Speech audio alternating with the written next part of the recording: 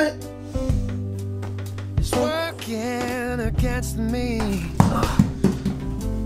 Mother crane? And gravity Ah! Why? wants to bring Ah! Why does this keep happening? Gravity. What up, saucy boys and girls?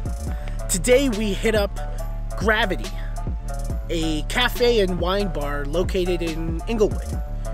Inglewood is a really cool neighborhood. Uh, there's lots of things to do. There's restaurants, there's bars, there's record stores. And fun fact, it used to be Calgary's downtown as well. The cappuccino we got today was delicious. It had a very acidic flavor, strong and definitely bold. It was like you were giving a guy a compliment, being like, hey man, you're really strong. And he's like, I know. It was a taste you could definitely feel on the middle and to the tip of your tongue. The foam to milk ratio was really delightful. There was never a moment where I didn't have enough foam or there was too much milk. It was just great all the way through. This cappuccino was heavy in terms of its flavor. There's that word again, heavy. Why are things so heavy in the future? Is there a problem with the Earth's gravitational pull? What? The cappuccino is going to get a 4.3 out of 5. The pastry we got was a white chocolate blueberry scone. I've had a decent amount of scones in my day, and most of them are dry, like concrete mix. Dry and dense, like the desert. But this one, oh boy, this one was playing with so many different things. This thing was delectable. The top of it had this sugary crust, and it invited you in with its moist center. And the blueberries just popped. Bang! right at you. and then you get the little bits of white chocolate that just melted in your mouth. I felt like Sandra Bullock in Gravity. I was losing my mind eating this thing. It was it was really good. Let me tell you. This pastry is going to get a 4.8 out of 5. As for the setting and location, when we walked in, it was a very inviting atmosphere. And the barista that served us was extremely nice, answered all our questions regarding pastries, their beans. She just seemed really knowledgeable.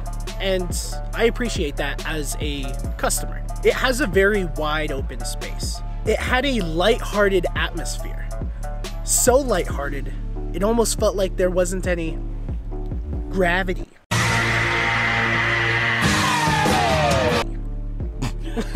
this place has a lot of events. Almost every night there are bands, poetry slams.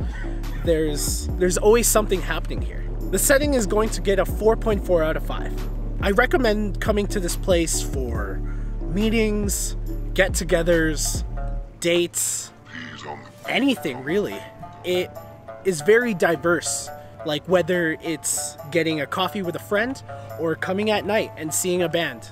It's not as overwhelmingly busy as places you can find downtown. You don't have to talk over each other. Surprisingly, I really like this spot. I will definitely be coming back. Well, that about does it for me, saucy boys and girls.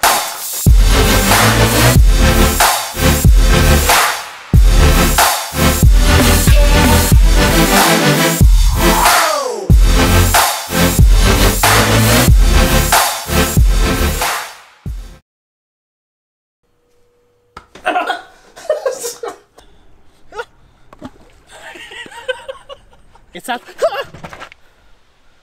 what?